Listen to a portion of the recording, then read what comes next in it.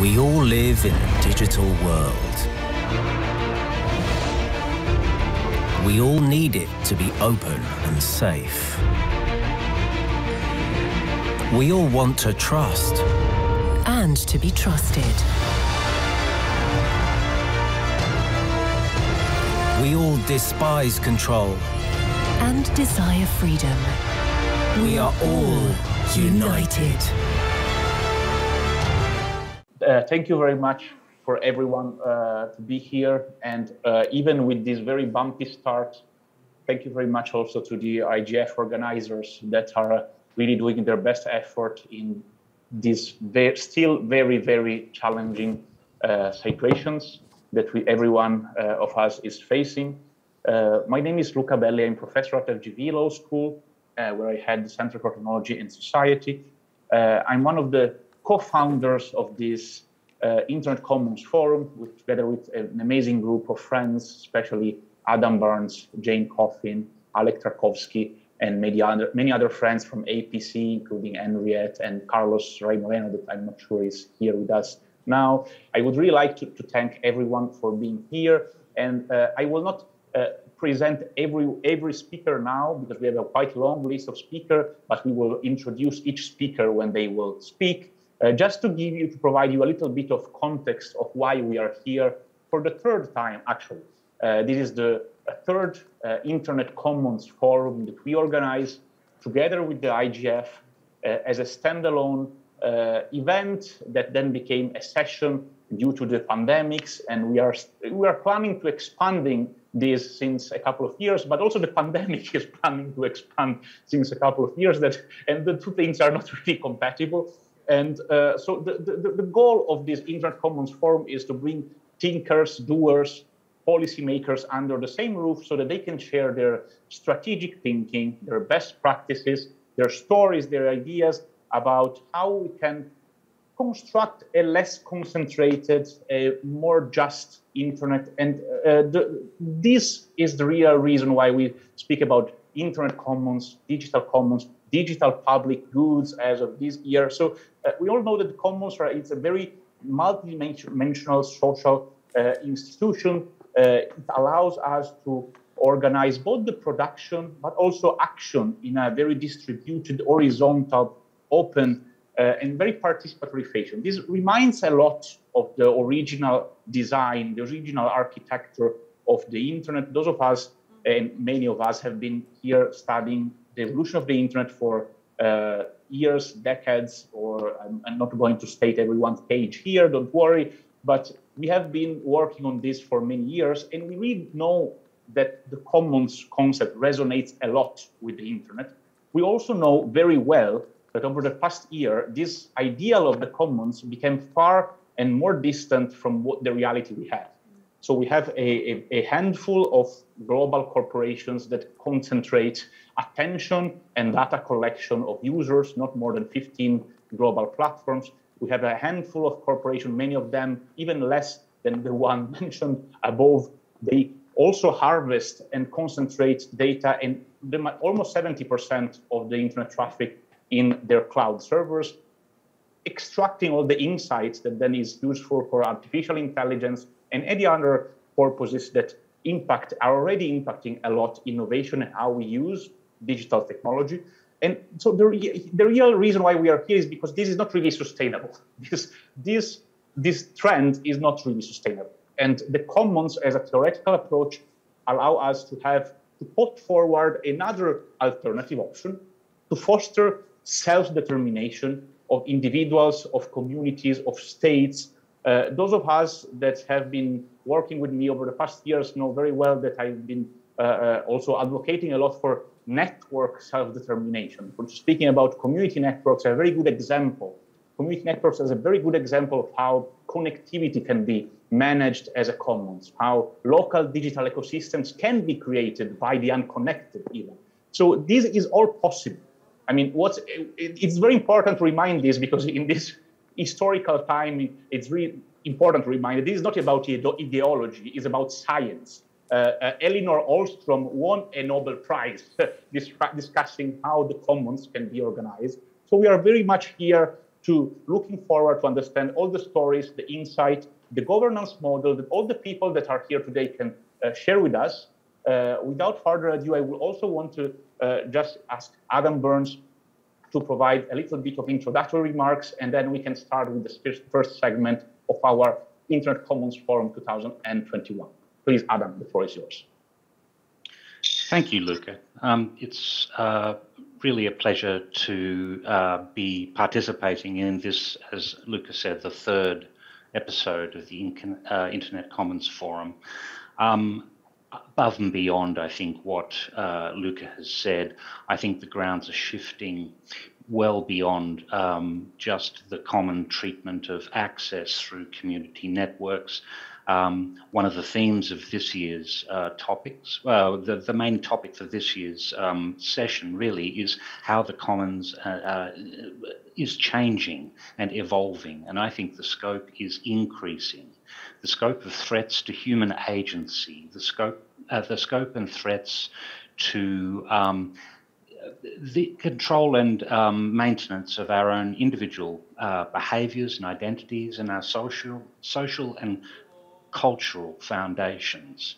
Um, and I think we have a great lineup of speakers in divergent areas that we have not touched on in the past uh, two sessions that we have held, including the areas of um, uh, alternative currencies, cryptocurrencies, the use of cryptography as a commons enabler, uh, amongst many, many others. So I am very much looking forward, in brief, to participating with, uh, with all of you for the rest of this session. Uh, and um, thanks, Luca, and let's begin. Thank you very much, Adams, for kicking off this uh, third edition. And we are now starting with the first segment that is dedicated precisely to the evolving conceptions of digital commons. Uh, we have the pleasure also of having also attracted the attention, I would say, of many institutional uh, stakeholders this year. Uh, so we have a representative from the UN Secretary General's Envoy of Technology Office, uh, Yu Ping. It's a great pleasure to have you here uh, with us. well, here, in, in this hybrid format so, uh, Yuping, thank you very much for being with us. The floor is yours. Thank you so much, Luca. And indeed, I'm indeed privileged to be here with Henriette on site at the IGF. And I just really want to echo her and thank the others in the room as well, because those of us that have made it here really can see the spirit of the IGF, both in virtual as well as in hybrid. And that I want to echo what Henriette has said that really there is a strong mood of cooperation, collaboration, and energy that I think comes from us now being able to be in person, but also connected online to all of you as well. I want to start by um, what Luca and Adam had said that there is very strong institutional interest in this idea of an internet commons. And I think this is a response to the challenges of COVID and the fact that we are now facing a digital age fraught with challenges that require global cooperation and leadership to steer through. So, for instance, this concept of the internet commons has found itself into the highest thinking here at the United Nations, where in his recent report, Our Common Agenda, released by the Secretary General in response to the United Nations 75th anniversary and the voices of over a million people that responded to the United Nations on the digital future that we want, there was this very clear call for the digital online domain to be seen as a global public goods. And the Secretary General himself has really seen this cyber digital online space as a commons, as a digital commons that has to be governed in the way as of other commons, perhaps as space, as sea has been done. So, for instance, in the Common Agenda, it says that the internet is a global public good that should benefit everyone everywhere, and that our approach to global governance and multilateralism really needs to take into account this specific concept. This builds on a lot of the work that's been done in the United Nations through the Secretary General's high level panel, the Digital Cooperation Roadmap, which also points to the importance of open source technologies, digital public goods, and this spirit of openness and collaboration that characterized the beginning of the internet, but as time has gone on, has become characterized by proprietary interests, commercial interests, and really the ending of this ethos of openness and collaboration. So the question perhaps is how do we bring that back?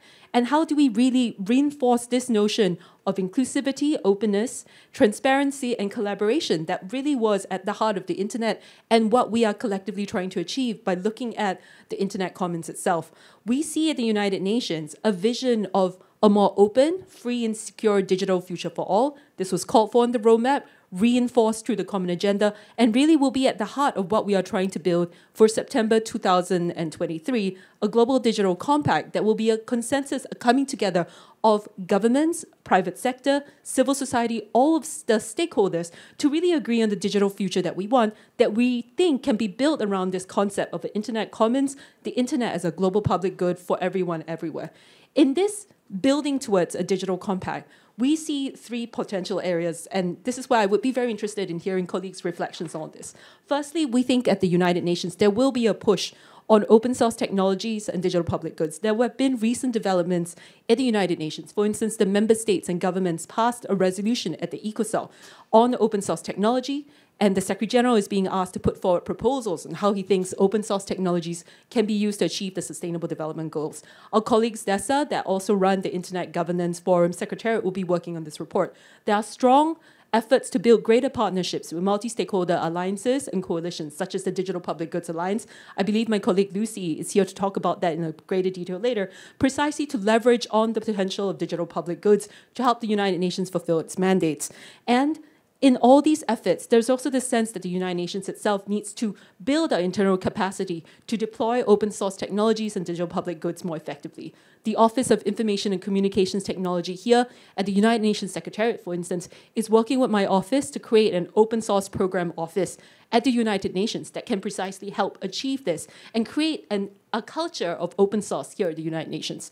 The second area that the United Nations is working very strongly on is on the issue of universal connectivity. And I think it does speak to the fact that we are still able to connect online despite the technical difficulties that we were able to surmount just now and still communicate like this. But for 2.9 billion people, this connectivity is a pipe dream and they are unable to benefit from the, the digital technologies and being online and the benefits of internet. So for those people, the need to narrow the digital divides and bring them online is crucial and fundamental to the United Nations work as well the last area that the United Nations is working strongly on is, I think, something that our opening speakers, Adam and Luca, alluded to. That even as we talk about internet commons, right now, I think, as, as Lucas said, the reality is more distant than it actually seems. That there are increasing pressures on internet fragmentation, the creation of separate splinter nets, restrictive policies, techno protectionist measures, and the efforts by certain private corporations to perhaps segregate the way we operate. And in that sense, internet fragmentation is a real concern for the United Nations.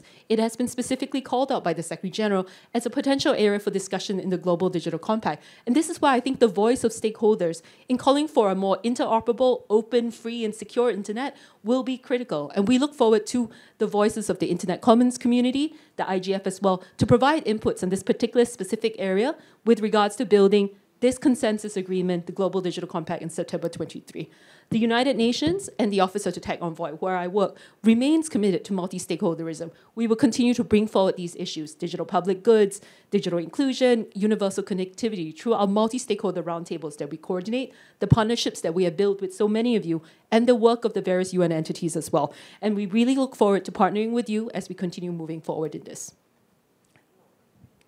Thank you so much. Thank you very much, Yuping. And uh, now, before uh, giving the floor to uh, Adam to uh, introduce the last two speakers of this first segment, let me introduce uh, a star of, well, a star of the Digital Commons and an intergovernance star and a good friend. I'm very honored to have here today uh, Rebecca MacKinnon, that now, since some months, is vice president for the Wikimedia Foundation, which is probably one of the best examples of how commons can really work in the digital uh, ecosystem. So please, Rebecca, the floor is yours. Thank you so much, Luca. Um, I assume everyone can hear me okay, um, and that you'll tell me if you can't. Um, I'm very honored to be here today, and, and thank you for your kind words, and, and congratulations to, to all of you for uh, pulling off a, a, a challenging hybrid uh, forum. I, I know it's not easy. And, and thank you, Henriette and you, Ping, for your remarks. I'm going to show, I'm going to attempt to show a few slides uh, to illustrate and, and humanize uh, my remarks. So please bear with me while I uh, share my uh, screen. Can you see my slides? Yes, wonderful. So I'm going to be focusing my remarks primarily on the policy framework that we need for the digital commons uh, to survive and thrive. Um, and I'm going to start by talking about people, because that's what this really is uh, all about at the end. And this photograph here is of Dr. Netha Hussain. She is based in Sweden. She's a clinical neuroscientist and doctor who, throughout the pandemic, has been spending her downtime editing COVID 19 articles in English and in her native language of Southwestern India, and later focusing her efforts on improving Wikipedia articles about COVID 19 vaccines. And this, living almost 3,200 kilometers away, from her is Dr. Alaa Najjar. He's uh, Wikipedian, Wikimedian of the Year. He's a volunteer for Wikipedia and medical doctor who spends his breaks during his emergency room shifts addressing COVID 19 misinformation on the Arabic version of Wikipedia. And this is the uh, Arabic page for the COVID 19 Omicron variant as it happens. Thanks to Najjar and Hussain and more than 280,000 volunteers, Wikipedia has emerged as one of the most trusted sources for up to date, comprehensive knowledge about COVID 19, spanning nearly 7,000 articles in 188 languages. This is a very concrete example of the value of the digital com- commons. I'm bringing those of us who don't speak Arabic um, back to the English version of the Omicron variant page. And the point I want to make with all of this here today is that Wikipedia's reach and its ability to support knowledge sharing on this global scale the ability to support volunteers' efforts to inform the public about a major disease, helping students study for tests, and all the other ways in which Wikipedia pages help people around the world. This is only made possible by laws and regulatory environments that enable a collaborative, volunteer led model to thrive. So I'm going to dig into the uh, history tab of the same page for, for those of you who uh, are, are, not uh, Wikipedians yourself. You may or may not have seen this, but this, this is an example of how the way in which the, the site is edited is completely transparent. There's a record of all changes being made to each page. This is the talk page, also for the same Omicron variant page. And it's showing you what the rules are um, in order for uh, credible sources um, to, to be um, shared on the site. And these rules about what credible sources are, they are set and enforced by members of the community, not by foundation, which I'll talk about in a moment, but by volunteers with administrators who've been elected from the community of, of volunteers. And the, our, the thing to note here is that our movement's approach to content moderation is participatory and transparent, unlike the content moderation processes of some large social media platforms that have been much in the news lately.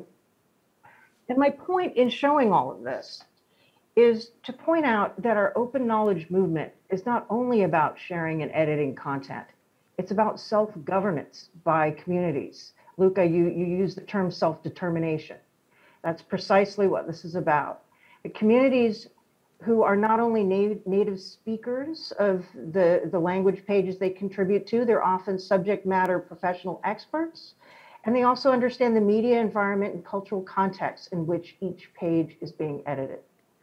This is what brings the value to a good Wikipedia page. Now, the Wikimedia Foundation uh, that I work for supports the work of this global community of volunteers who participate in the creation, editing, and governance, and again, uh, emphasizing governance, of a range of open knowledge projects, including Wikipedia, which is the most well-known one. We have actually, uh, Yuping uh, mentioned ECOSOC. Uh, we have an application pending uh, before ECOSOC, and uh, we very much hope that we and many other uh, civil society members of uh, open knowledge communities um, and the digital commons uh, can advance in open ECOSOC uh, and other UN bodies. We believe we, we have much to contribute to the building of the, the digital commons. Um, so the policy framework that we are advocating for, um, it can be boiled down really to three fundamental elements. Obviously, there's, there's a lot of complexity in each element. First of all, free speech protections. And for the digital commons, for self-governed autonomous community platforms, that means that in the regulatory environment for, for our projects to survive and thrive, intermediaries need to be shielded from liability for third-party content. And I would uh, refer everyone, if you're not familiar with the Manila Principles um, for Intermediary Liability, um, that you do so. It, it talks about uh, the relationship between limited intermediary liability and human rights. Secondly, privacy. We need data protection laws. We also need surveillance oversight so that people can contribute to open knowledge projects to the digital commons without fear of retribution, uh, whether it's by governments or private actors, in some countries, even families. Um, we, we need end-to-end strong encryption. Finally, access. We need, obviously, affordable and ubiquitous broadband. We need net neutrality. And as was also mentioned earlier, a globally interoperable internet because our self-sovereign communities operate across borders and it's vital that people be able to participate participate in open knowledge communities across borders. Finally, all governments and non-state actors need to respect and protect human rights. That means impact assessment and due diligence, transparency and oversight, stakeholder engagement, and effective grievance and remedy mechanisms so that when power is abused, it can be identified and held accountable. And I've uh, offered a few resources in, in the notes here. Um, the IGF has the Internet Rights and Principles Coalition. I would also commend to you the African Declaration on Internet Rights and Freedoms that I know that uh, Henriette has had some involvement with over the years, as well as the UN Guiding Principles on Business and Human Rights for uh, non-government um, entities that operate online platforms. And with that, I thank you for your time. Um, and I look forward to the discussion. And I apologize uh, in advance that I will need to leave at the top of the hour. Thank you very much. Now let me see if I can stop sharing my screen. There we go. Wonderful, Rebecca. Thank you very much for, for your presentation. It's much. It's uh, now my pleasure to introduce someone. Um, Renata Avila, a an act, passionate lawyer, activist, author, and now more recently, uh, Renata heads up the Open Knowledge Foundation. It's my pleasure to introduce you, Renata, and uh, the floor is yours. Thank you. Thank you. And uh, one year after the pandemic, I'm still missing, like, you know, losing the mute, on mute uh, uh, place. But uh, it is such a great honor to be here back and to be like uh, with this group of friends and colleagues and inspiration and thought leaders that all of you are and um, basically i'm in this new challenge and in this new challenge the the most important task i think is go uh, uh, heading back to the open knowledge that uh, rebecca mentioned uh, conversation and not just stay in data What it has happened in the in the last uh, 10 years is that we have been like deep into the rabbit hole of the data obsession. And, and by being like so into into the data obsession, we have neglected the things that like really uh, drove us the the first decade of the century. That the, the things that we were like very passionate about of opening possibilities for human development and opening uh, and uh, leading to more equal societies. Quite the opposite happened, and I guess that many of you are going to discuss all of this. And it is uh, it is um, it, is um, um, if I if I read the mission of the Open Knowledge uh, uh, Foundation, um, it is still even our mission. You know, like uh, of the last that, that, that needs to be revisited is a little bit like you know like. Um, data focus and not people focus.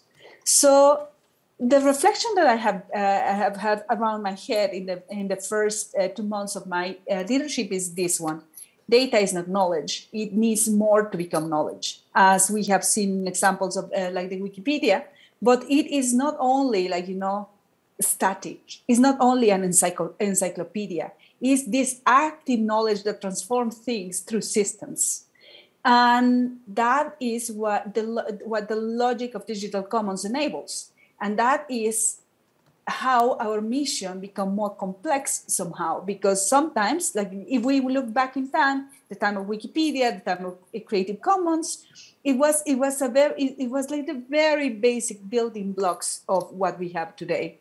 And now what we need is to make it dynamic make make it make this digital commons a living organism uh, through into the bloodstream, uh, something transversal into the blood, bloodstream as as uh, the other speaker said, inside the United United Nations system, inside multilateralism, inside uh, decentralized communities, and but the other danger that we are facing and something that our communities didn't address properly in the first decade of the century and probably that our societies didn't address for a long long long time is the issue of extractivism and how uh, and that's uh, and the tricky point uh, on how we build we the privileged connected build the early basic structures of the internet from our privilege and from our exclusive communities uh, and how all the structure that we set up is being challenged right now. It is being challenged by a completely different generation of activists and advocates and movements that question, uh, uh, uh that are starting to question in a very, very open way and challenging way for our movements. Or it, it, it is open just for the sake of open, but what if the communities have a say on, on their data? But what if uh, so it's not open for everybody, but it is open for everybody who's advancing uh, a global vision of survival. Uh, but all, all, this, all this questioning on the on the initial ideas of openness uh, that are like uh, key to uh, digital commons, or who's responsible for for it, or what is our responsibility? We release a data set or a knowledge asset that then is used as, as, a, as the basis for a campaign of misinformation. You know, like all of this is is uh, or, and uh, the overwhelmingly global north presence of content, digital content, where like the rest of the world is like uh, still very absent from digital.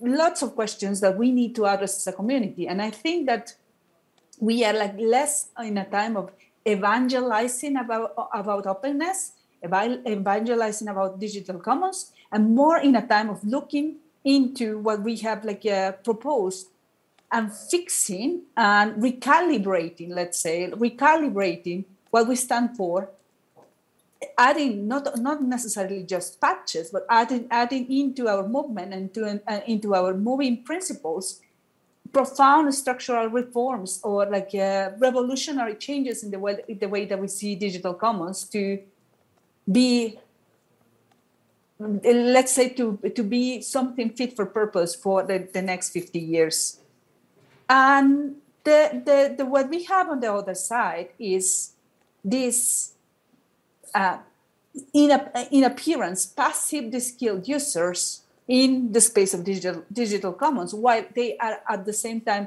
very active, energetic, and energetic and engaged youth uh, creators and interactors in platforms that keep that creation and that uh, and that um, excitement and that um,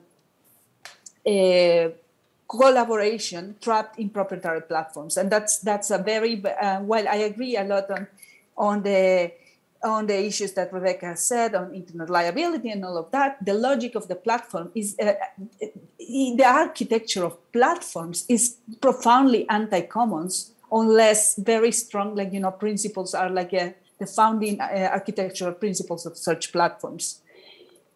And the internet as itself you know like it it, it is moving pretty fast uh, in its uh, architectural evolution to be like this space of, uh, of surveillance and control. And we must not forget the political dimension of this that it is like basically even if we go with our communities and try to make the most resilient ecosystems uh, politics is very is very powerful in the in the side of the anti-digital commons basically uh, economically powerful actors concentrate most of the data power and these economically powerful actors are not isolated from politics so the question today that we need to ask ourselves is how can we bring the data power back to the people and how can that uh, data power be transformed into knowledge that impact their lives? And the thing that I have been like the, the movement like that has inspired me the most uh, in recent times is uh, the youth movement like really uh, rallying all over the world and against uh, extinction basically uh, against planetary extinction. So my dream and, and my and my hope would be to bridge the digital commons movement with this natural commons movement and make something powerful make not only a resilient alliance where uh, data is transformed into power to the people to avoid planetary extinction but where an alliance is built back to also rescue the very powerful and very important uh, no, local knowledge that is also in a in a uh, risk of extinction by being missed by digital transformation by being like discarded as irrelevant in a virtuous circle that enables us to have sustainability in both sides because i believe that we will not overcome the most challenging problems of the planet if we cannot if we cannot look back and look at the lessons of the past to build a resilient future where digital is just a characteristic and not it is a separate sphere or separate world. So converge, converging movements is uh, what I'm thinking of and dreaming of. And understand, of course, how uh, our digital world is like our world practically, uh, but without forgetting divides of half of the world disconnected. Um, basically, we are trying to experiment in three layers at Open Knowledge Foundation, skills, technical tools and, uh, and a sustainable ecosystem around the digital commons. I will not bore you with infomercials about our programs uh, because they will be very different in six months' time. And, and basically my, my magic formula for digital commons is this one, local impact, collaboration, and empowered citizens. Um, so a vision of a digital world that is rooted in the local, in the decentralized, and in the green sustainable, and I will add even feminist digital commons logic. Thank you so much. And uh, sorry if I took too much time.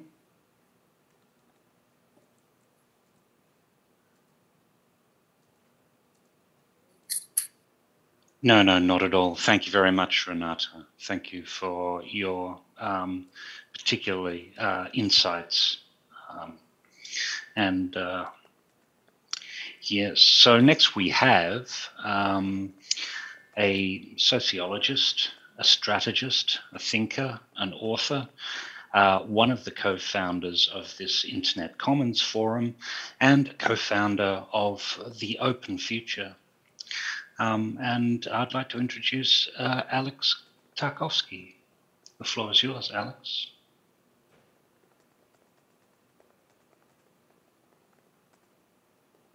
Hello, everyone. I'm very happy to be joining the forum again and speaking it again. And I actually want to give you, in a way, an update on, on a project that I presented, I think, at the first forum uh, at that time together with Sophie Bloemen. We spoke at the forum and we spoke about a vision we created called Share Digital Europe. Uh, I should maybe mention immediately, since uh, this is a uh, global event, that uh, we call it Shared Digital Europe because we're based in Europe and we're framing things for a European debate, but in a way, it's a vision that we hope uh, uh, works also in other regions. Basically, it's a to give you a very short recap, a vision that tries to shift from a debate that at least in Europe, but I know in many other places has been very market focused, and the digital single market frame has just really taken root. Uh, and we, I think we can say after three years that we played a part in trying to shift that debate. Uh, we proposed uh, issues like the commons, uh, public sector, role of the public sector, self sovereignty, and decentralization.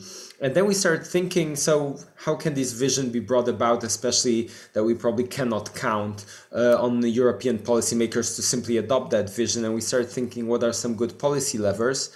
Um, and we decided to look more closer at the principle of interoperability, which is one that, of course, is fundamental for the internet, emerges in most polity debates. I was wondering whether someone will mention it here before me, and indeed, Henriette uh, mentioned interoperability, so I'm very happy about that. Mm, so we did this uh, research project supported by um, Nesta through their NGI Forward Fund uh, to ask ourselves uh, okay, so there's a lot of policy debates on interoperability. In Europe, it's one of the more interesting aspects of the Digital Markets Act. Um, big debate how much uh, the policymakers will force the platforms to become interoperable, but not just in Europe. For instance, in the US, there was the proposal for an Access Act, which also was a strong interoperability mandate. And of course, the obvious thing uh, is that this is a shift from talking about an interoperable internet which still remains at this basic protocol level as it was. The shift is to the debate at the services layer to ask questions basically about the platform space, which uh, I think Renata so very well framed, uh, saying that this is a profoundly anti commons architecture. And the big question is whether interoperability is a measure that can somehow shift this balance. Mm, and our answer, to give you the spoiler of what I will say at the end, is yes and.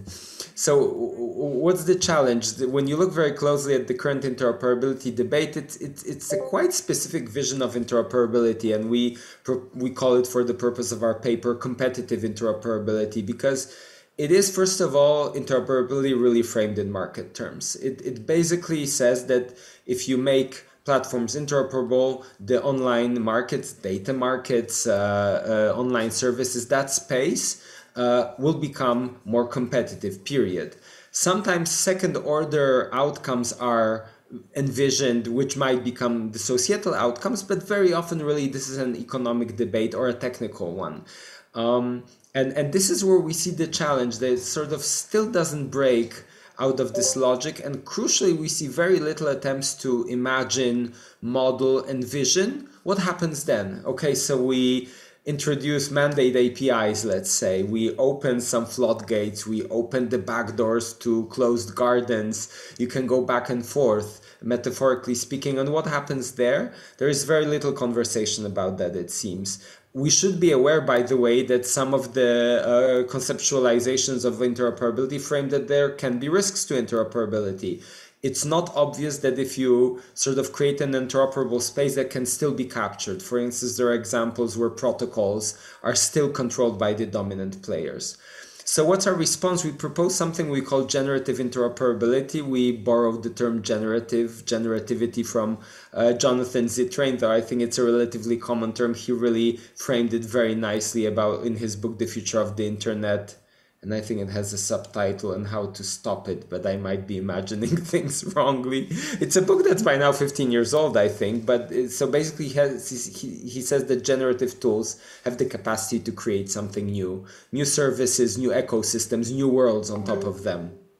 And this is what we'd like to propose if we say generative interoperability, the basic principle is of course the same. It's this idea that you need to ensure flows of data between varied systems, in this case between platforms, and this non-platform space. But um, uh, we believe, and we're doing this also on the basis of interviews with experts. One of them, uh, Jaromil, is here, and, and thanks Jaromil for your support for this study and your advice.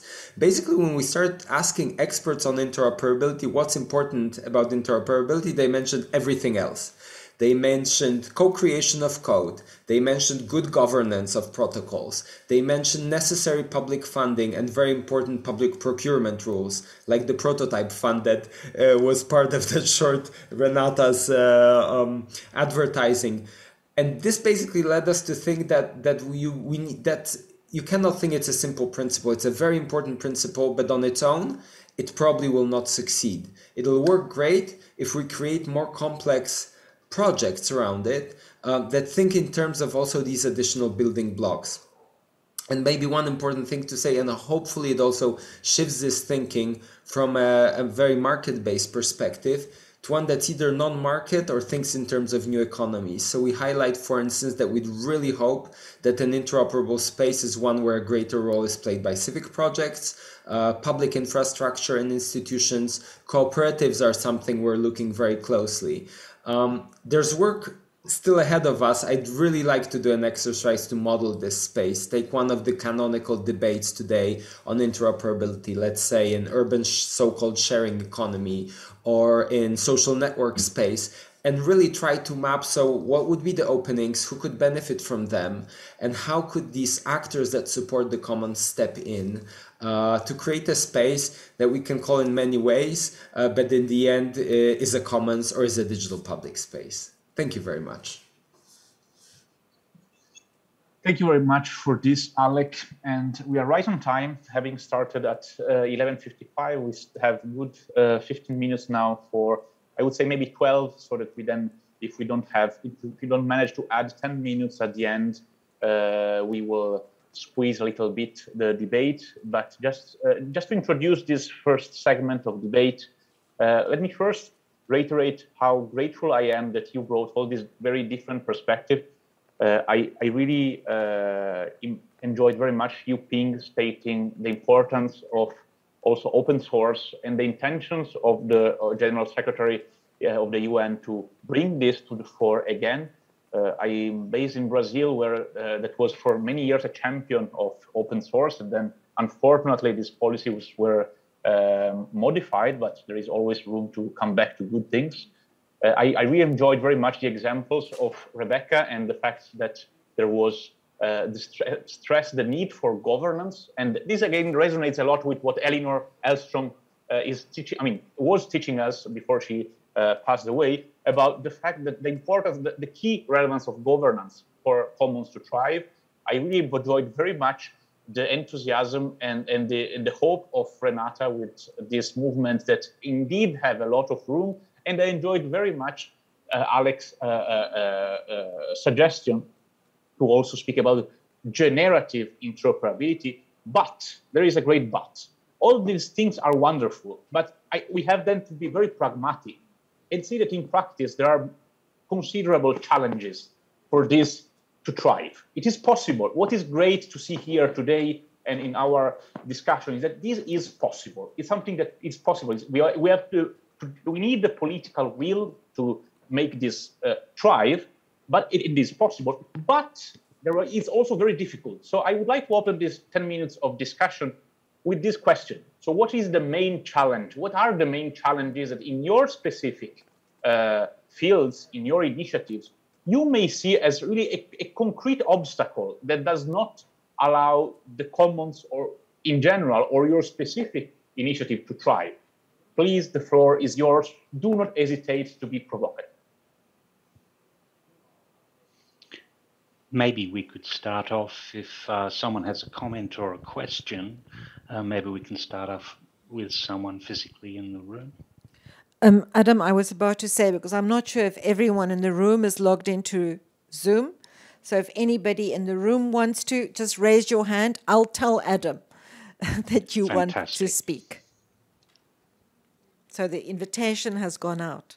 If anybody Thank in the you. room wants to contribute, just raise your hand. Uh, Renata. Um, see, if, if no one is starting, I'm happy to make a short comment.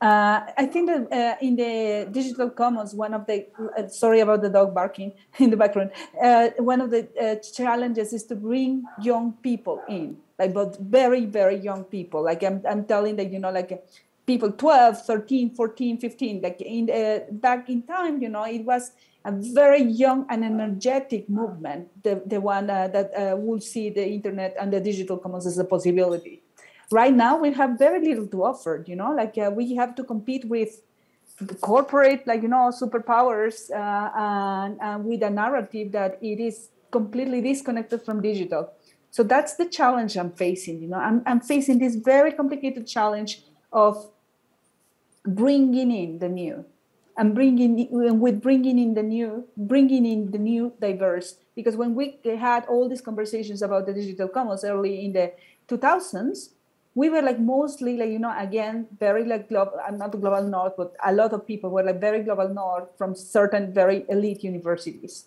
And so we need to revisit our common uh, our movement but before as a preparatory step we need to bring young people in. And it's very tricky i see henriette and then renata uh, sorry rebecca henriette and rebecca um, thanks, um, Luca. I have a question for Alec. Um, does generative interoperability need rules and regulation? Or will it flourish um, on its own um, in the way that uh, operability has? And how do you prevent it from? Because, I mean, you talked about competitive interoperability, but surely what we've also seen is anti competitive interoperability and, and how interoperability, if you have the power, to use it can actually become a very cost effective way, uh, way of building um, monopolies. So, yes, so what do we need to, to, to um, for generative operability as you interoperability as you described it to flourish? So, so I think you sort of reinforced very well our, our challenge to, to, to one approach to interoperability. Exactly, that's the problem that that it doesn't avoid these challenges of anti-competitive interoperability. Uh, and our solution and sort of this is a result we probably would have enjoyed brainstorming more with experts but online that's challenging. So i want to speak also on, on behalf of the co-authors which is me sophie bloemen and, and paul keller but also people we talk with it seems that hopefully by adding these additional elements we improve the chances of beneficial results of interoperability. And, and generative doesn't mean organic in the sense emergent. Uh, we also use the term generative interoperability policy, and actually our policy paper is framed within the NGI Forward program. So basically, it's targeted to a large extent on, on policymakers. Uh, we think, for instance, crucial issue is the proper design of large public funds, which at least in Europe, for instance, are now being, being released uh, in the Digital Europe program. For example, 400 million for data spaces. Uh, no one knows very well what data spaces are. In this regard, I think are the they are the policymaker equivalent of metaverse in some sense, but everyone is excited about them. So we say, okay, we should apply this principle of interoperability to them, but also understood more broadly, covered in this policy package, this kind of maybe world building package. Um, and and then I think they have a higher chance of succeeding because there's some. I really like Ethan Zuckerman speaks about um, failures of imagination, and I see it a bit in in advocacy work and policy work, which otherwise I think is super relevant that we're pushing, for instance, in Europe for these interoperability rules for platforms. But um, but they really stop the conversation stops at the moment where we should be opening it up. And maybe one more thing i should say more more directly to answer your question henriette. We we cover it briefly because this is just one of the aspects but of course protocol governance is crucial. And i think this is where again uh, the internet itself has a beautiful tradition of in a way deliberative or emergent protocol governance but we also know it gets captured uh, but again, the, the solution is not necessarily mandating certain solutions, but we write about it collective action around such governance, right? Making sure that we are present in these uh, governance procedures, making sure that actors who want to participate are properly resourced. and so on. Thank you.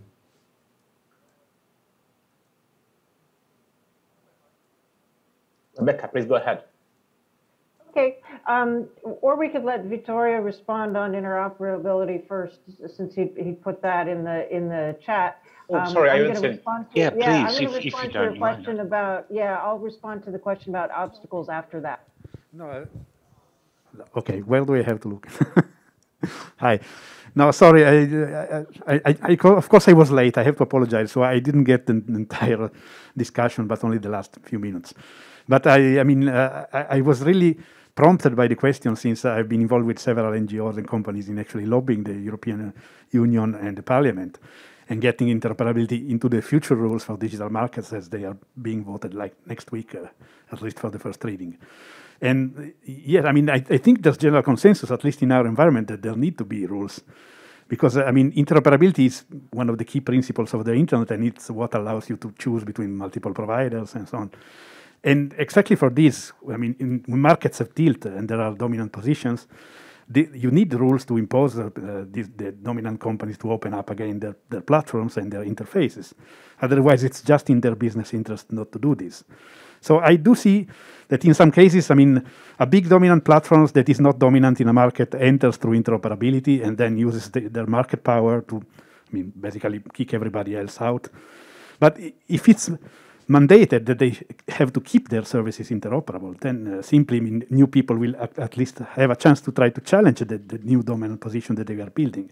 Well, we've seen many of the big tech platforms that have, I mean, done exactly that, and then they shut down the, their, inter, their interfaces, their interoperable interfaces, so that in the end no one could challenge the position that they had just built. So, I mean, yes, I wanted to say that, I mean, in my opinion, yes, you really need regulation to defend the open principles of the internet.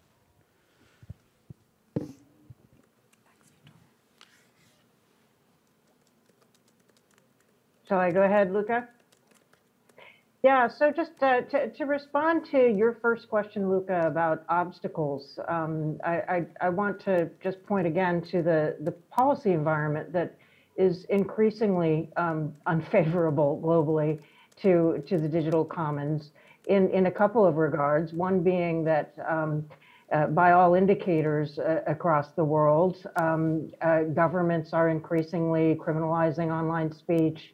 Um, network shutdowns are, are growing. There's just a, a range of, of policy uh, trends around the world that are not conducive to broadening participation in the digital commons, particularly in, in the global south and among young people and who, who will who need to be able to participate across borders um, without fear uh, and uh, without censorship and actually to just even access uh, these projects. So that that's one thing. The other concern I have is perhaps overcorrection in in the um, uh, in in North America and Western Europe.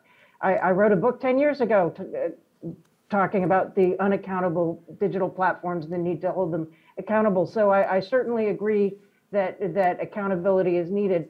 But I'm I'm worried that in seeking to regulate the big tech um, uh, digital platforms and their toxic business models, that uh, a lot of uh, provisions and measures are being recommended and in some in, in some cases put into place that are harmful to the digital commons, um, place liability on on people who are trying to participate in open knowledge projects, and we just need to make sure that that governments uh, think beyond what the internet is today. Uh, speaking of having an imagination to, to think of what is possible, not just what, you know, the internet is more than just Facebook and Google and Twitter and Amazon. What kind of world do we want to build? And how do we make sure that we put in place the policies and laws that actually protect the, the, the existing pieces of that world that already exist and actually support its growth and thriving? And, and that's, I think, the, the biggest challenge that we face right now. Thank you, Rebecca. Your point was particularly poignant to me in terms of your point on liability, um, because again, it seems to me that uh, attempts at commons have started from infrastructure. So actually, a lot of burgeoning uh, internet um, community networks have faced liability issues for the provisioning of physical access, and we seem to be going up in layers in terms of people being impacted by this very point of liability. So, thank you. I had also a very, brief comment on this, on what Rebecca was saying about the need not only to uh, when we when we want to regulate, and actually this is that something that someone that has dealt with telecom law has learned very well already, at least 10 years ago, which is that if you only have in mind the big corporation, the big telecom operators, you will not allow and you regulate them. They will be able to bear the regulatory burden, but the small entrants, the community network, for instance, or the, uh, the small enterprises will never be able to bear the same regulations. We will simply kill them. The same things apply to uh, platforms. If you only have in mind the Google and Facebook, Google and Meta, uh, you you will they will be able to add another compliance department and be, and deal with the regulation. But the small entrant or someone that is a non for profit like Wikipedia or Wikimedia, uh, they will never be able to comply with the, with the, this kind of burden. So it's necessary to have a progressive adjustment and to because if you only have in mind Google and Meta, you then you end up having only Google and Meta because they are the only one able to comply with the law.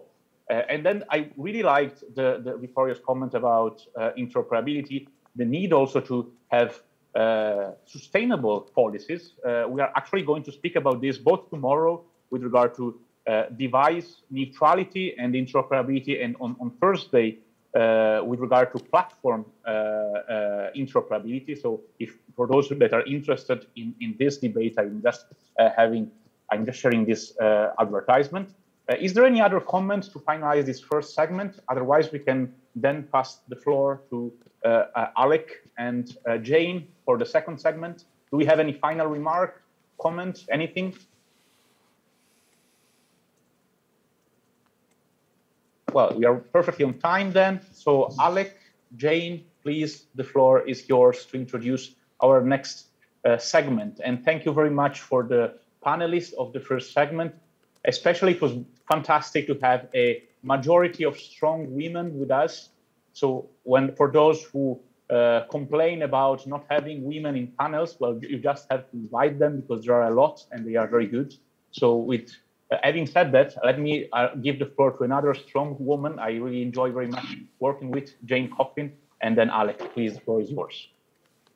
Thank you, Luca. Um, I really enjoyed that last session, and I don't know if you saw my note in the chat, but I'm I'm always amazed that we have abandoned markets and um, people trying to prevent us from providing connectivity in those markets. Um, it's a pleasure to be here today with Alex. Um, I think I'll quickly um, uh, introduce uh, our speakers and then turn it to Alex for other comments, and then we'll we'll roll on. But I just want to highlight that we have Lucy Harris, uh, who's the co-lead for Digital Public Goods Alliance with us. Um, the Digital uh, Public Goods Alliance is supported by UNICEF, and Lucy will tell us more, but she's working on um, discovering and implementation, of digital public goods. And it's exciting to have Lucy here today. It, um, that syncs really well with Yuping being here as well. And the potential for a digital compact in 2023, which is exciting because that compact will need to have this digital commons approach uh, in it because we're not going to connect the next 3.5 billion without it those abandoned markets we have osama manzar a good personal friend from the digital empowerment foundation I've worked with Osama for many years, and he's been at the forefront of providing connectivity, but also social programs for inclusion. Um, and we have Dennis Yaromil uh, Royo, whose name I hope I pronounced correctly at the end, from Dyne.org, who works at the intersection of art, science, applied cryptography, and more. He's an inventor of digital tools and operating systems um, and open access networks. Alex, over to you for more comments. Okay, I actually think we. Um, not much more commenting is needed right now. We should just give uh, our speakers the floor. Uh, we're continuing uh, a, a, conversation from the first part. Uh, digital public goods were mentioned at the very beginning, so I'm very keen personally uh, to learn more about this initiative. Lucy, we're very glad you're with us today. Welcome.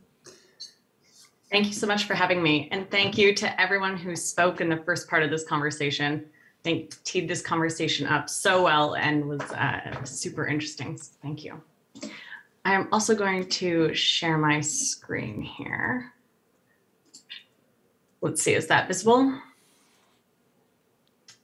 Excellent. Uh, so as mentioned, my name is Lucy Harris and I co-lead the Digital Public Goods Alliance, which is a multi-stakeholder initiative of the government of Norway, the government of Sierra Leone, the Indian think tank iSPIRT, and UNICEF. So I'd like to uh, open today with a quick story about digital public goods. So uh, in Sri Lanka, the first suspected case of COVID-19 was actually registered on January 27th. And realizing that travelers were still pouring into the country as a popular tourist destination, immediately local developers got to work building a COVID-19 tracker. So their tool focused on the registration and tracking of travelers arriving from regions with a high risk of COVID infection. And it was created within two days of that first registered case and deployed at Sri Lanka's airports just days later. So the reason they were so successful is that they weren't building this tracker on its own. They were building it on top of DHIS2, which is an open source health information management system and a digital public good that's already in use in Sri Lanka. So the speed and efficiency with which Sri Lanka was able to respond to this crisis is not even the most impressive part of the story. DHIS2 is already being used by countries around the world. And that meant that when Sri Lanka shared their user guide with the global DHIS2 response team, the tracker was able to be implemented in a further 38 countries and is being adapted for use in 14 more today. So the tracker isn't just a great piece of technology that was created rapidly and deployed rapidly, it's also something more. Because it was part of an open source project, it meant it could be modified when the problem was spotted, COVID 19, could be adapted to fit a new circumstance and a new need, and then it could be shared back with a global community of others who are able to benefit from that solution and solve pro- the same problem in dozens of other countries. So technology itself doesn't solve societal problems, but we can use technology to solve them. And the way that technology is designed and developed matters. This idea that how technology is designed and developed matters isn't new, but there has been a growing focus on the idea of digital public goods. Make sure my slides change. Uh, and that's largely driven by, I think, a recognition that the process of digital transformation needs effective, adoptable, open tools. So as Yuping mentioned in the high level panel on digital cooperation, the UN Secretary General recognized the potential of digital public goods to reduce fragmentation and duplication and said that all actors, including member states, the United Nations system, the private sector, and other stakeholders, should be promoting digital public goods, open source solutions that adhere to privacy and other applicable laws, standards, and best practices, and do no harm. So, this combination of ideas is what we call digital public goods, or DPGs, to keep things a little bit shorter. They really harness the power of the internet to create thoughtfully developed digital solutions that deliver shared benefits and solve common problems. But at the Digital Public Goods Alliance, we wanted to make this definition even more comprehensive because it's easy for people to think of DPGs just as free software, but there's so much more than that. When we talk about digital public goods, we're talking about a solution that was designed and developed to advance the sustainable development goals, that is open source, and that has taken steps in how it was set up to avoid and mitigate harm. Uh, Wikipedia, who spoke earlier, is a great example of this. It was built collaboratively, collaboratively. It's available for anyone to change and modify, and it presents a solution to a common problem. Uh, and I love what was said about the way it thinks about privacy and protecting human rights in the way it's set up.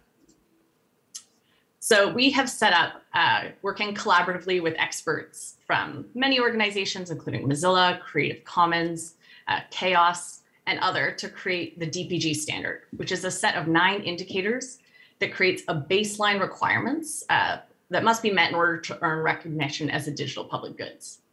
So solutions have to be designed and developed as open projects, which means using open licenses, but also having good documentation, uh, non-PII data that's accessible, uh, that they have a commitment to following standards and best practices and have considered other components of do no harm.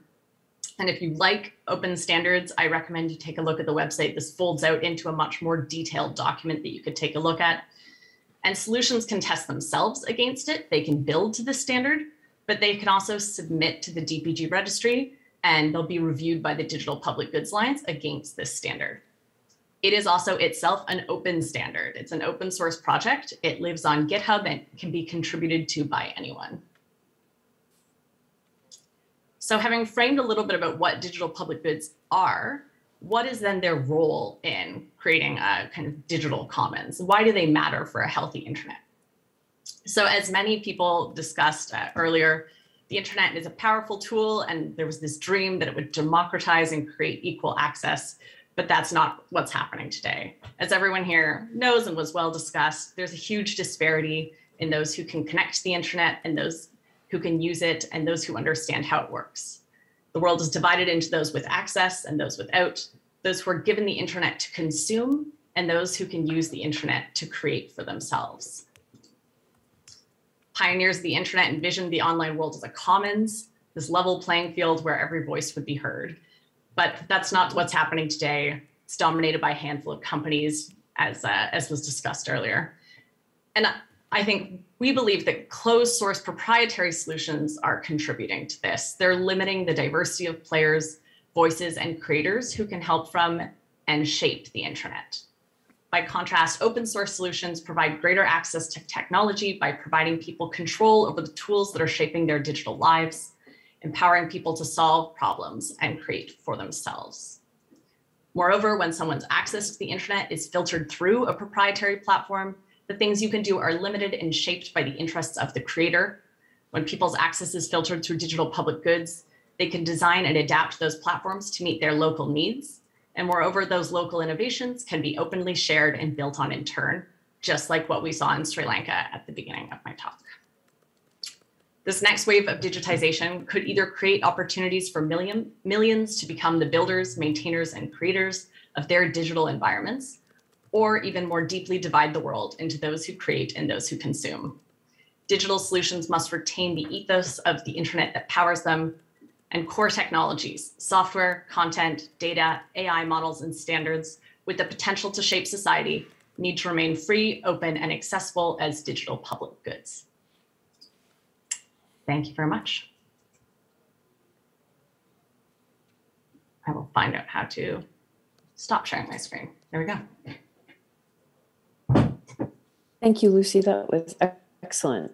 Um, you gave us an overview of what a digital public good is, how it interfaces, and why it um, how it helps with tech and des- um, designing um, more open um, problem-solving uh, solutions, and helps us with um, looking at the bottlenecks to privacy and creation that are inherent in some proprietary networks.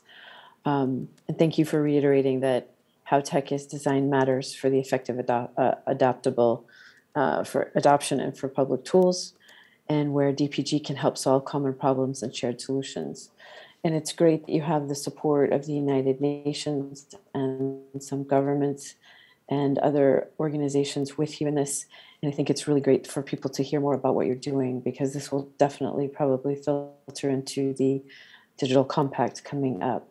So thank you for that. We'll move on to Osama Manzar from the Digital Empowerment Foundation. Osama, you're up. Yeah, hi.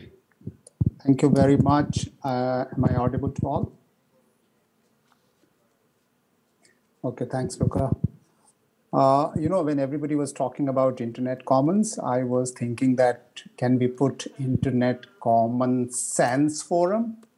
Or do we need internet common sense uh, kind of thing? And uh, yeah so I, I, I would like to uh, you know uh, start from a couple of ground stories uh, which actually reiterate the fact that how much internet has been appropriated by the corporates the business the governments to create their own narratives rather than the internet of people which war, which has no more internet of people, and that's the reason why we are looking for internet for commons and internet of commons.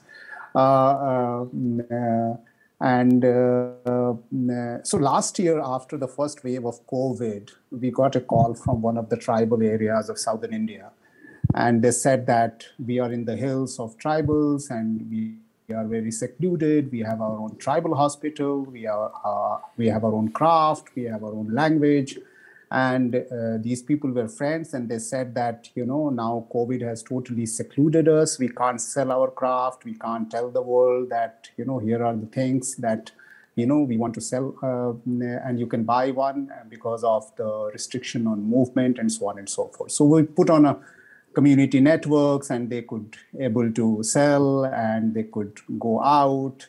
Their hospitals started functioning with external doctors and uh, you know consultancies and so on and so forth. Uh, and then we said that why don't you also put lots of computers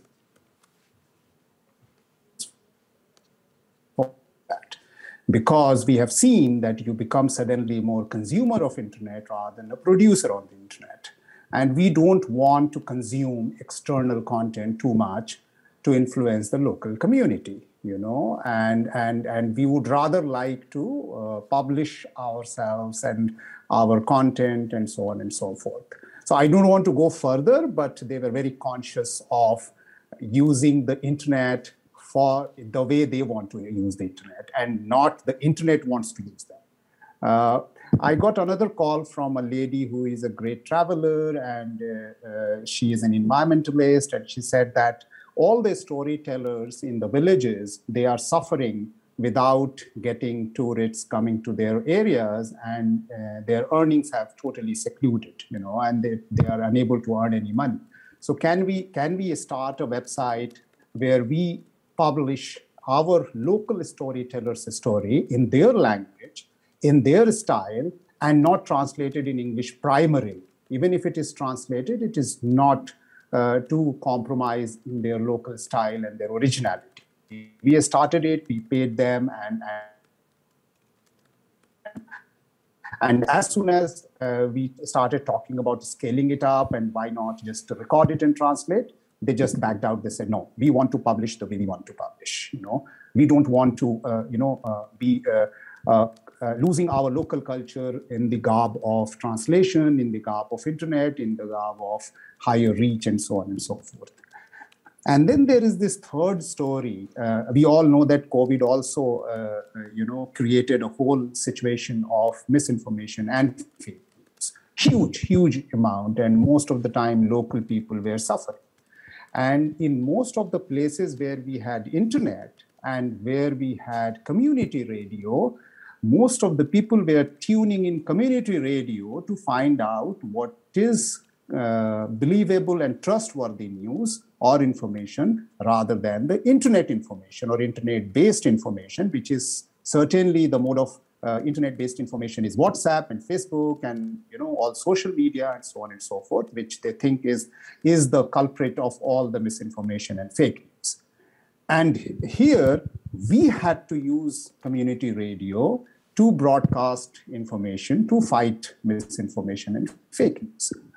So these are the three stories that we realized is that even though even even if we have used community network, wherever we go, the people use internet more as a consumer than people use internet more as a citizen and and that's a huge uh, challenge um, with the spread of the internet and all that. So the question is that are we being uh, appropriated by internet or are we appropriating internet or only those people are appropriating internet who are powerful and who need uh, you know narratives to be spread? And then, you know, I started uh, thinking, and uh, good that Rebecca sh- showed a lot of those pages which actually bring in local content on Wikimedia uh, and Wikipedia.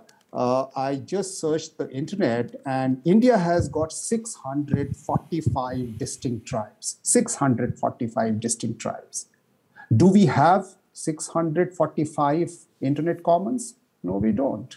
You know, are we being you know uh, you know compromising on our culture i again searched another thing how many languages do we speak or do we have india has got 122 major languages and 1599 other languages almost 1600 other languages and 122 major languages do we have as many as internet commons No, we don't. Will we have? I don't know. We might be writing obituary of many of these languages on internet rather than appropriating internet into so many languages, not to lose their culture, not to lose their heritage, not to lose their um, uh, tradition, and, and so on and so forth.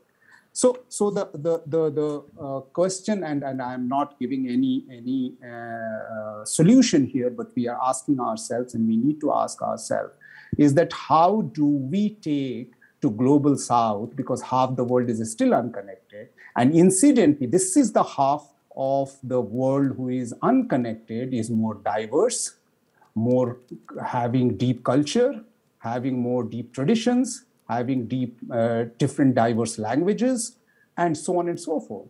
So, do we need to design internet? Do we need to design, uh, uh, you know, community networks? Do we need to design, you know, connectivity in such a way that every internet become more local, more and rather than become more global? You know, because the global is is, is creating more consumeristic uh, way of uh, pervasiveness rather than the other way around. And, and I want to close with again lots of question is that how do we uh, design the internet commons to be as diverse, as multilingualistic, as colorful, uh, rather than becoming one color for all? Yeah, thank you. Thank you, Osama. Um, digital, digital determination and an internet commons that's uh, multicolored, multifaceted versus one one color. Um, thank you for that. Really, those great stories, and also just helping us take a look at self determination and collective governance from a different perspective. Um, your story about the pandemic and the different tribes is um, something that we all need to take and uh, bear in mind when we're looking at how to create co-create um, that digital compact, how we co-create together, whether it's a community network or it's local content that is determined by local actors versus outside actors. Um, our next speaker is Jaromil. And Jaromil, over to you. Thanks. Many thanks for inviting me here. It's my first time at the Internet Governance Forum. I interacted uh, in the past with some people working at the UN, and uh, that was funny. It was over uh, internet radios about 15 or 20 years ago. Um, can you see my slides? So yeah, I uh, direct and represent this organization. It's more of a community organization, so I shouldn't say direct, actually I'm facilitating it. Since um, uh, 94, I'm second generation of this community. Uh, it was a ham radio amateurs and uh, bulletin board system, BBS operators. So before the internet, let's say. And uh, being second generation, I joined as a point into a BBS, and then I joined the worldwide sensation that uh, the internet was for us. I remember clearly the first um, application that really made a difference to BBS was the Internet Relay Chat, the IRC, because it was synchronous. And it allowed a bit more exchange. Today we went uh, far from that concept into a lot of uh, multimedia exchange and various uh, dimensions of connecting to each other through the internet. And I think I will try to speak about that complexity, provoking a little bit of thoughts going beyond the open source concept. We work as a free and open source software foundry since uh, uh 2005, uh, mostly for the European Commission, uh, for which we worked on this flagship project, Decode, back in uh, 2014, 15, and 16. Decode led to uh, what is the actual discourse in the Commission about uh, um, data, personal data, and sovereignty, technical sovereignty, digital sovereignty, and what I argue to be an important concept for us when we talk about open source, algorithmic sovereignty.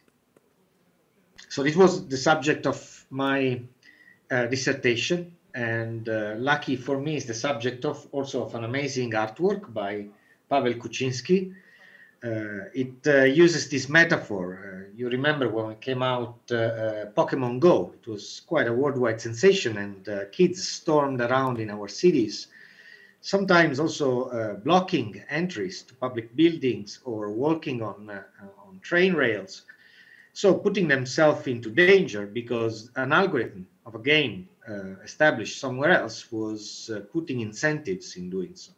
So was putting little little uh, uh, puppets that they had to collect into places that the algorithm didn't really know well. This provoked a lot of problems. I remember clearly uh, the police in the Netherlands issuing a warning to public institutions, the mayor of New York being concerned and releasing a public speech about. Uh, it shows you how uh, algorithms are important today. They govern the way we are um, receiving our, our um, our taxes, our payout, paying our taxes, uh, how much we are valued by insurance companies. Um, algorithms are also establishing if we are paying soon, how much we are paying for what we want, and probably how much we are paying for where we want to go already with travel companies. So why I say it's important, it's because sometimes when we talk about open source, something that was very important 20 years ago, now it appears to be um, an accepted uh, an accepted uh, uh, posture and methodology to bring together the industry and the scientific research world. When we talk about open source, often we are drifting the discourse into a technical space that excludes people from understanding what is really happening. And this way, it also excludes people from understanding how decisions are taken. Because not all of us are coders. And as hackers should know very well that uh, sometimes we protest about the 1% of the world being uh, deciding about the future, but uh, on the internet, it's us hackers being the 1%. We are the privileged.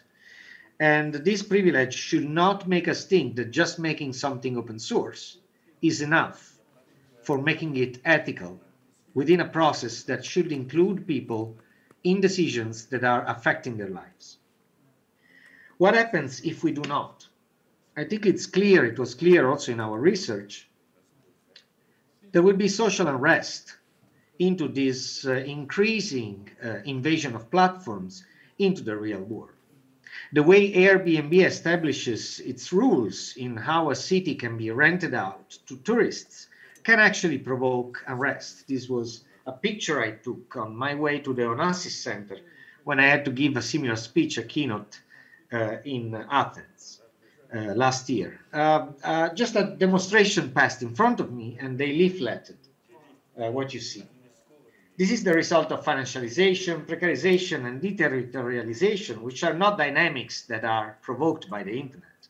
But we should be concerned because the economy of the world is changing as we speak, because we are facing a, quite a tsunami on macroeconomic level after the pandemic, or I like to call it syndemic. And this synergy of factors that will put us in, in difficulty uh, is affected by decisions that are taken on algorithms that, uh, that involve our life and are excluding people from decisions. So why do we have a platform that does social networking and put us in touch when we have no vote on this platform? Nowadays, platforms are sort of societies. They almost like like governments, but they are governments that do not allow, do not allow democracy to be in place. People cannot vote on the decisions that are taken about these platforms. Perhaps some leverage can be given by uh, for the people by initiatives like this, like the Internet Governance Forum. But we have to be very clear that open source is not enough. enough. It was the beginning 20 years ago, and nowadays we are looking at a pervasive presence of algorithms and the connective tissue of the internet that need to push us forward and claim back uh, a sort of agency on the decisions that nowadays are taken by a technocracy, just programmers, just us. Ultimately, I leave you with a question. Whether we are developing to perceive the machines or be perceived by the machines. If I look at the current industry incentive to actually monetize people uh, interacting uh, with each other. We are developing technologies that allow machines to perceive people. But this brings no real um, feedback to the people that are using these platforms. They leave them rather blind to what is happening around them and sometimes outraged by what changes their rating or their visibility on a YouTube channel. Uh, to the point they may storm the headquarters of YouTube and, and shoot people around in desperation because all what they had was that visibility, that channel, that sort of uh, um, platform for their for their narcissism. So I don't want to be judgmental here about what the platforms or the people are doing with their presence online. What I argue is that we need to envision a design of technology that allows people to perceive what machines are doing with them. Because only this way we can have participation and transparency and understanding of the environment in which we are. Some references of the publications we're doing, and uh, yeah, after this quick advertisement, I'm looking forward to the discussion. Thanks. Thank you, Jaromil. And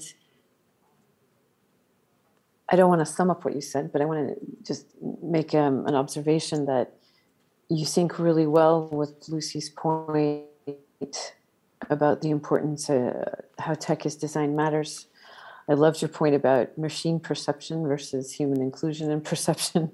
Um, open source is not enough, as you said. It, it leads to questions about lock in um, from tech. Diversity is important. Digital colonialism is uh, in front of us potentially. Digital determination is important. Digital inclusion versus exclusion. And it really is um, a little scary when you're talking about the algorithms. Um, and I'm going to turn it over to Alex to help moderate the next session, which is a 15 minutes of Q&A. Um, I think um, I'll turn it over to you, Alex, so you can help uh, let everyone know how you want them to raise their hands or type something in the chat to to. Um, um both things will work, but but uh, before we start, I quickly wanted uh, I'm, I'm sharing Jane sort of your um, reflection after Jaromil your talk, and I, I feel as if it adds a, a, layer to our conversation, which I thought is sort of two dimensional. I really liked how Osama brought this local perspective, this this pers- contextualized perspective to a conversation, which I frame more as systems, which I really like about the digital public goods framework that tries to work at scale at this highest level of systems. I had systems, individuals, very nice and then you added basically machines. I don't think I'm, I'm I'm scared by it, but but I agree with you. We need to add that perspective, and it needs to be done by exactly the type of technologists like you who understand these issues, but openly say we need to bring these issues to the broader population. So um, thank you very much, and please talk about these issues more in conversations like this. Um, we have a bit of time for uh, some responses, comments, questions. I'm happy to take them both in chat and uh, to see you raise your hand or simply start speaking. We're a pretty small um, group uh, here. I'm not sure whether anyone is monitoring the YouTube, whether there are any comments there, but probably that's too late. Anyway, anyone would like to share their thoughts also on the whole, Adam, you seem to be saying it's a big, big space that we open. YouTube is too big. Too big, yes.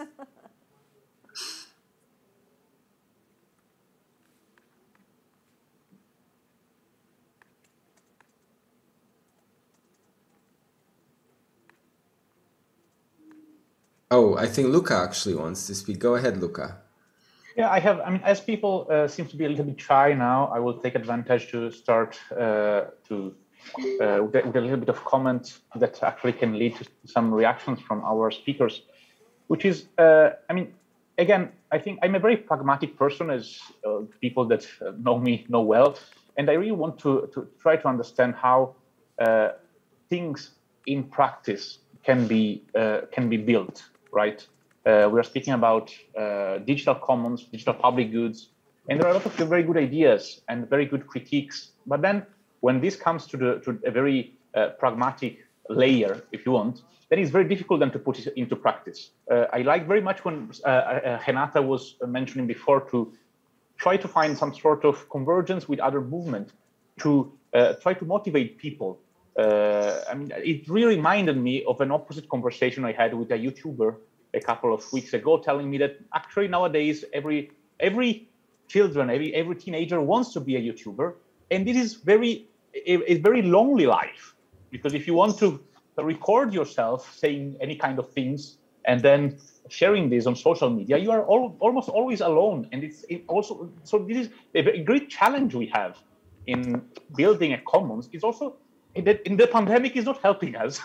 it's, it's also to having people together uh, sharing ideas. And I mean, this kind of platforms like the Internet Commons Forum is a very embryonic uh, step towards bringing together people that are like-minded understand these kind of things, are scared about a little bit also about the, the, the, kind of trends that we are witnessing, and trying to put together something. I really liked the, the, the suggestion by Yuping that was uh, uh, uh, done via, via, Twitter of also trying to contribute to the contribution of the uh, digital public, uh, the digital global, the digital global compact, because that is, is something that could could have an impact. Uh, I'm not saying that this is necessarily the best possible way to try to have a, a concrete impact. But so my question would be for our speakers.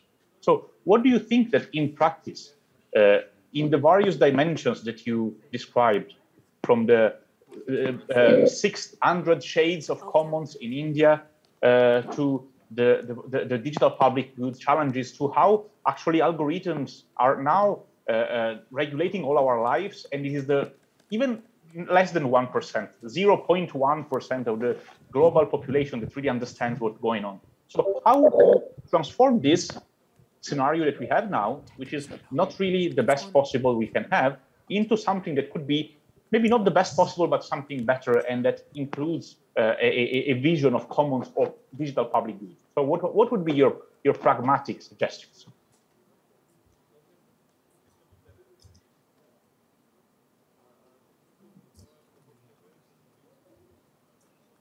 Would one of the speakers like to take that on?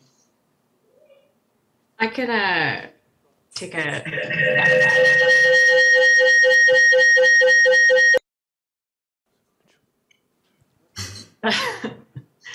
that was the algorithm taking it on. Got the feedback.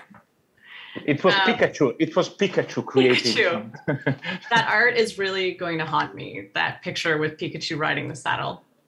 Um, but to try and get to kind of a concrete example because I think in some ways it's easy to talk about like the doom and gloom version of the situation we're in. But I also think, you know, the pandemic uh, and I think a renewed interest in what digitization looks like and how to do that in a way that's ethical and equitable. I think there's an opportunity at the moment right now, especially as um, huge portions of the world are coming online and joining the internet for the first time uh, right now. And I think that creates an opportunity. And I'll, I'll talk about this from the digital public goods perspective, which is uh, I think the pandemic has especially created an awareness of the need to have kind of digital infrastructure within societies.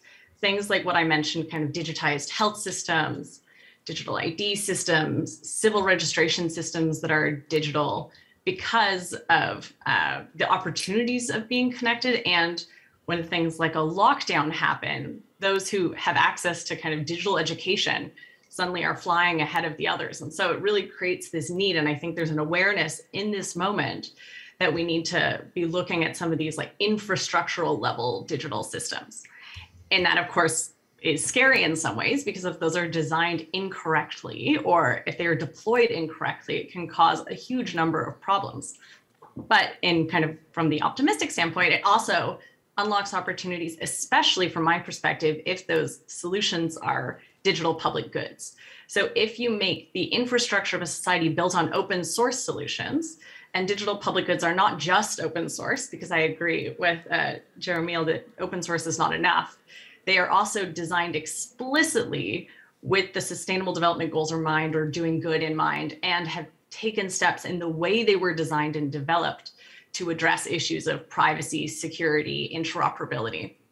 So if you have those systems as the infrastructure of societies, I think it creates a lot of opportunities for people to uh, look at and understand the technologies that are guiding their lives. Like, I think it gives us an opportunity to look at the machines, right? Like, what is the code behind the voting system that I'm going to use? I have found a bug and I'm going to report it in this system that actually is our civil registration system. And I'm going to build something that builds on top of the national digital system that's in place in my country because I see how it works and I have the opportunity to understand it. So I think that's a very kind of concrete uh, vision for how we might move forward that takes advantage of the kind of growth of the internet commons and layers on top of it digital solutions that then make that a common public resource that other people can see, use, and understand, and also uh, modify. Adam Luca, just to tell you, there is someone in the room who wants to ask a question whenever you're ready. I think we can go ahead, yes. Okay.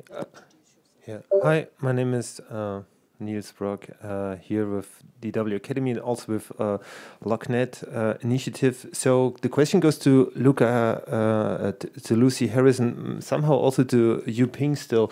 I was asking uh, uh, how to onboard like the private sector in those ideas that you have, so to say, the digital cooperation roadmap of the of the UN, and also when it comes to the digital public goods. So you even mentioned private sector as people who or organizations that would sustain like uh, public uh, goods that seems uh, at odds at the beginning. So what is in for them? What is the buy-in? So uh, how is the ethos of open collaboration? Uh, uh, yeah, why should they buy this? which seems to be anti-profit, to be a bit provocative. Huh? I'm happy to go for that. Or if you, Ping, you want to kick us off?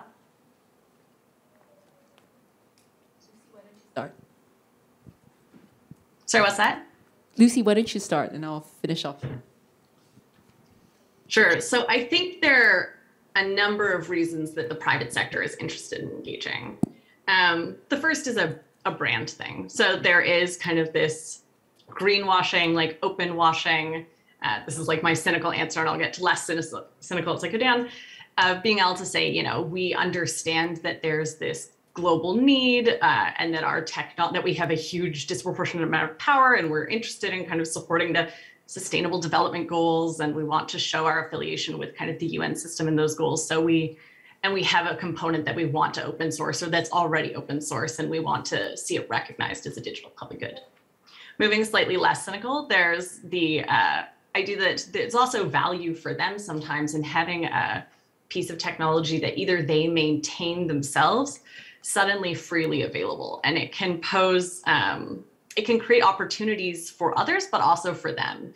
So i mean a great common example is uh, android which is an open source operating system. And there was kind of a total the market was locked up in uh, like apple and by creating android and then giving it away for free making it open source suddenly people all over the world are building on it and it totally undermined the kind of capture that had already happened in the market. And then they could layer on proprietary versions and uh, make money. So it was a way for like a business move in many ways to disrupt the kind of lock-in that was already happening so that they could have a voice in the market. And then by doing that, they also created opportunity for many other people to build on top of it. So the reason it helps create innovation for others can also be a motivation for them to release things as open source solutions as well. So those are, I think, there's both of those. There's this desire to do good on some level and a desire to be branded as doing good. And I think there's the fact that, you know, also supporting other digital public goods. If there's an open source ID system being implemented and your like Google Pay that means that you can see the code and build more easily an interoperate, uh, like make your Google Pay system interoperable with that digital ID system. So it's going to be easy for you to roll that out. So they also benefit the same way anyone else benefits when solutions are, are open source. To add on to what Lucy said, I do also think that this is the time that we really do call them to account for the fact that they've made humongous profits and that in some ways they've really taken advantage of the open infrastructure that exists in the internet because without the foundations that were built, they wouldn't be seeing the kind of profits they have today. So this is the time where we really say, you know, you've benefited and now it's time to give back. And we at the United Nations really have been the recipient of many of these tech companies who are now coming to us and, like Lucy said, are really eager to engage with the UN. So this is our opportunity to then use this coming to the UN and the international community to say, now these are the expectations that we then have for you. To go back to what Luca had said, this is where I do think the Global Digital Compact is an opportunity to precisely tell the private sector and the tech companies, this is what we want from you. Because it's not just about civil society talking to member states, but it's also opening the conversation to say, this is what we expect from the private sector companies who should be part of this global digital compact in building this future that we want. Also, then putting the onus on them to agree to this vision that we all collectively have of the internet. So no longer just us accepting what they necessarily are providing in terms of services and so forth, but really us also laying down the expectations for what we want for their continued use of the open internet that they have already been so lucky to benefit from that was built from the efforts of so many of us around the table.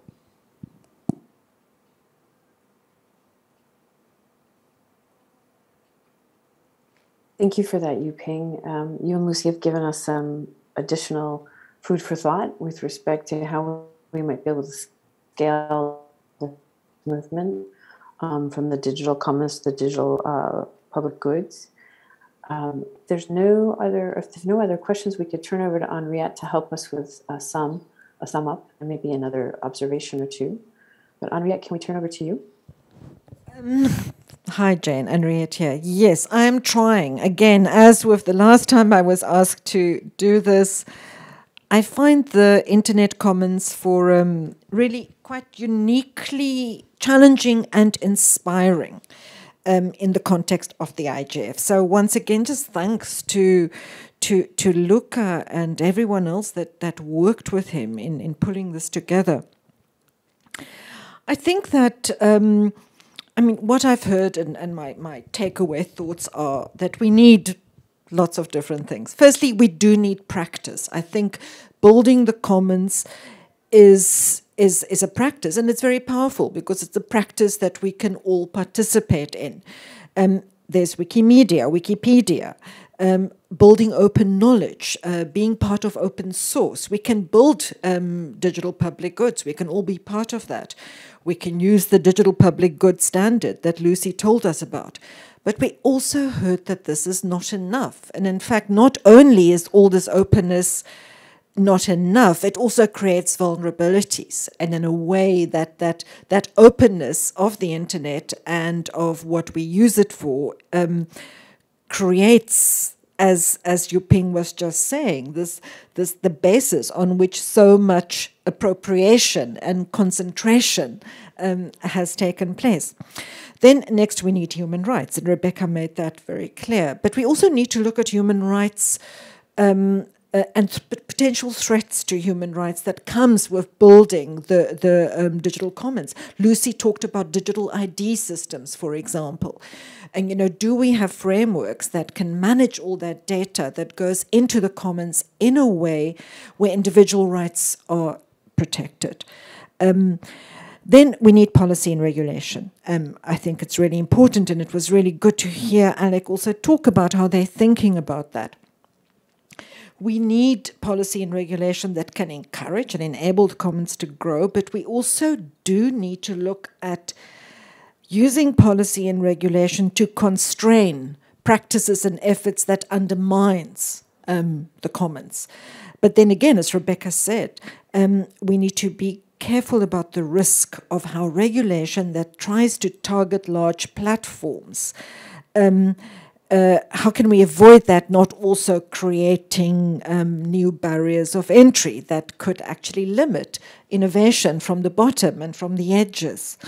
um, the internet is more than these platforms, and and we we we even regulators, even the Europeans who are doing relatively well in in building regulation, need to not be captured by the notion that everything on the internet that needs regulatory intervention is defined by these large platforms. They are just companies, after all, but but looking at constraining their impact is important.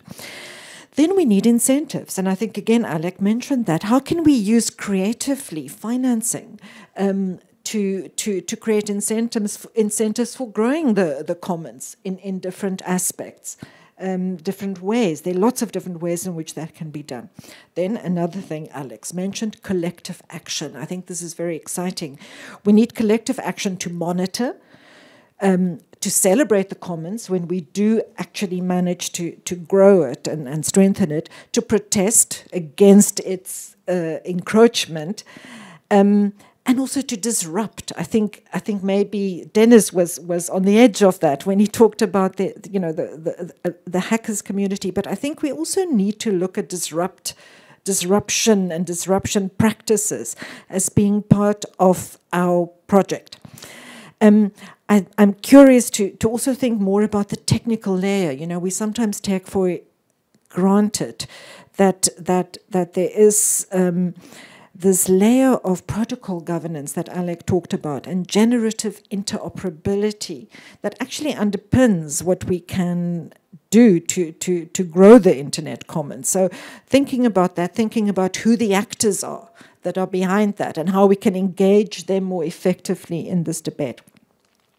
Next, I think we do need some intervention at the level of principle. And I think this is really the last thing. I think we do not yet yet have a consensus. Uh, I certainly don't see a consensus on not just using the internet as a platform for growing the commons and for enabling digital public goods to thrive. I think there's agreement on that. What we don't have agreement on is that the internet itself is a commons and that it should be governed as such and recognized as such. And I think that's very, very different. It's a very different step, and a very it has different implications to just looking at the internet as a medium or a tool for growing digital public goods. Um, I think Luca mentioned the work of Elinor Ostrom. I've also looked at the work of Inge Kaul, who, who writes about global public goods. And I think we have two, from, from in terms of economists, we have two really useful schools of thought to draw on here. Ostrom's work on the commons, Kaul's work on digital public goods, and others. And I think we need to do this work. I think we have a conceptual and political um, task ahead of us to, to look at how we can deepen the understanding of the internet as not just a platform, um, but actually as, as a commons. Um, I think we can look at using the idea of the Global Digital Compact. Um, to take this debate further and, and try and get some kind of basic understanding and agreement. Um, not easy. And I think that's the final thing I want to say, really. I think this is not just one of those win win, um, happy clappy processes. I think we often tend to talk about things at the Internet Governance Forum from this perspective of all stakeholders agree, all stakeholders. Um, you know, are on the same page, and I think as as your question, um, about the private sector? It's a really relevant question. I don't think this is going to be easy.